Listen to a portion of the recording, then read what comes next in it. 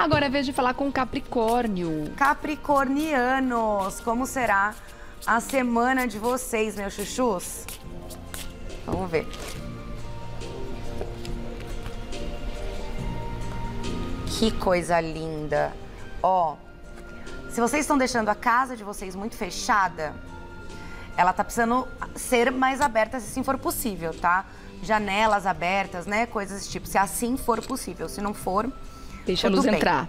Mas aqui tá pedindo para trazer leveza para a tua casa e para a tua família. Mais brincadeiras, tentar ficar um pouco mais longe do ambiente profissional, se assim for possível. Se aproximar mais dos seus filhos nessa semana, né? Permitir que seja uma semana leve, tá bom? Para vocês saírem do 220. Eu sei que eu tenho um ascendente bom aí. Eu sei como que é, tá ligado no 220 sempre. Aqui tá pedindo leveza para tua semana, né? Olhar para tudo aí, tentar trazer mais tranquilidade para você, tá bom? Ótimo. Excelente semana para você do signo de Capricórnio. Agora